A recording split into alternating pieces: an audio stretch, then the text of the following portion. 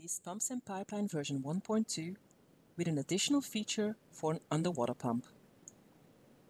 The underwater pump feature will be explained with a practical application, which makes this also a great training video to ensure that your estimate captures shallow water depths. The new feature allows to directly enter the underwater pump location. We'll start with opening a PNP project file, which we already populated for this tutorial. On the pump tab, you can find that a cutter suction dredge is selected with an underwater pump and a discharge pump. On the Pipeline tab, you can find a new section at the bottom for the underwater pump. This new feature is helpful when also dredging on shallow water depths, where the vacuum of the underwater pump could limit the production. Tick the box to include the underwater pump and enter the ladder length, which in this example we will set at 30 meters, with the location of the underwater pump axle at 20 meters. In this case, the underwater pump is located at two-thirds on the lower side of the cutter ladder. The last value to enter is the hinge above the waterline, which in this case is 1 meter.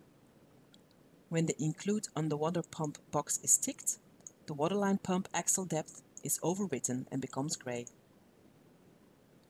In this example, the water depth is set at 10 meters, and on the Diagrams tab, the vacuum production parabolas are shown for a vacuum range of 60 to 80 kilopascal. Now we can calculate the production by clicking on the calculator button. The vacuum parabola does not limit the production at 10 meters water depth, but the pump power limits the production as the discharge pipeline is relatively long. A production level of 600 cubic meters per hour is found.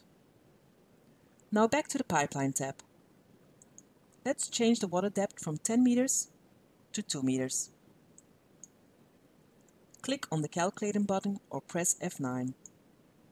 The vacuum parabolas for 60 to 80 kilopascal move to the left.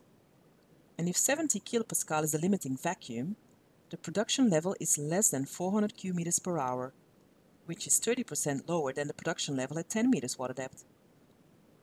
Although the long discharge pipeline limits the production in the lower soil layers, the vacuum at the underwater pump significantly limits the production in the top soil layers. With this new feature, it becomes easy to check all water depths as per the cut plan. We hope you enjoyed this tutorial and that you find this new underwater pump feature convenient.